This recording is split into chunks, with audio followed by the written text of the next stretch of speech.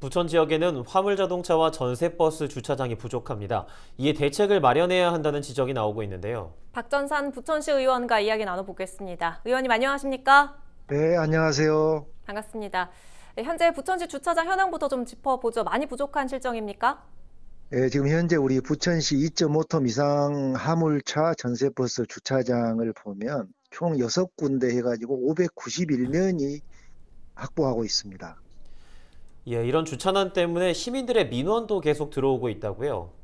예, 그렇습니다. 이게 우리 현재 우리 부천시 화물 자동차 등록 현황을 보면 예, 관용차 52, 자가용이 1,501, 영업용이 1,214대, 그다음에 관광버스가 119대가 있는데요.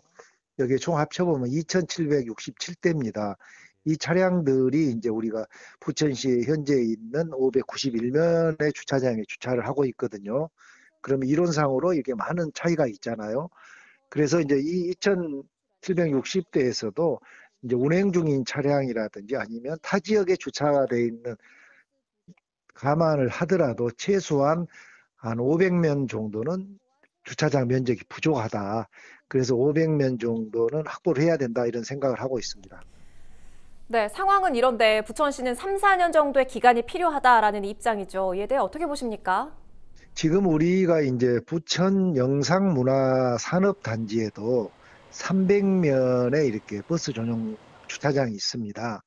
그런데 이제 거기도 이렇게 이제 우리가 내년부터는 이제 그 개발 사업이 진행이 되잖아요. 그러다 보면 이제 300면의 주차장이 없어지는데 그러면 이런 대책도 필요하지 않겠느냐 해서 이제 그러면 우리가 고강 차고지를 신설해 가지고 거기에 250면을 확보해서 이제 차량을 옮길 걸로 이제 시는 계획을 하고 있습니다. 그렇지만 그렇더라도 기존에도 한 500면이 부족한데 300명에서 300면에서 이제 또 250면이 50면이 부족하잖아요. 그래서 이거는 그런 식으로 이렇게 해야 될 거는 아니고 고강동에 이제 250면 주차장도 고도화할 필요가 있다.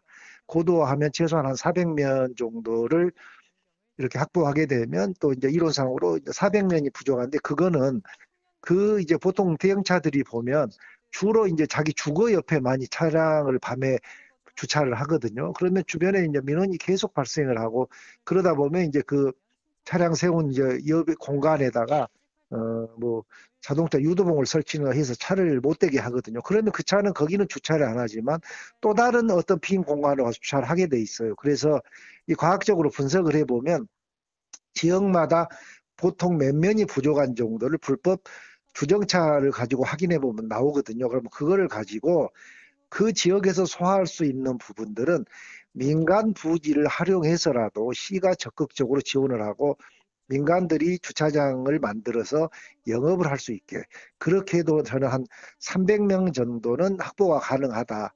그렇게 하고 나머지 부분들은 또 전략적으로 이런 소금의 주창을 만들면 충분히 가능한데 지금 시는 그냥 무조건 단속 위주고 단속은 주민들이 계속 민원을 넣거든요. 차량을 세운다고. 그래서 대책을 마련해 줘야 된다고 생각을 해서 이렇게 이야기를 하는 거고 또 그다음에 운전하신 분들이 어 차고지에 차를 넣었다가 자기 승용차로 가가지고 거기다 승용차를 놓고 다시 차량으로 영업을 하고 다시 주차를 하고 차량으로 이동할 수 있게 이런 부분들이 있는데 그런 소 이제 그 자가용 차도 주차할 면적이 없기 때문에 그런 것과 병행해서 대형 주차장을 만들 때도 주차면을 확보를 해야 된다. 그리고 이제 이렇게 보면은 주차 면적은 이제 월 정기 주차를 하게 되면 그 차가 비어 있는 시간에도 차량들이 이제 주차를 할 수 있거든요. 그런데 거기에 차량 주차를 못하게 해서 그런 문제도 우리가 빈 공간은 탄력적으로 주차를 할 수 있는 그런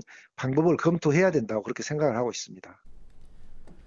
예, 알겠습니다. 오늘 말씀 여기까지 듣도록 하겠습니다. 고맙습니다. 네, 감사합니다. 지금까지 박정산 부천시 의원이었습니다.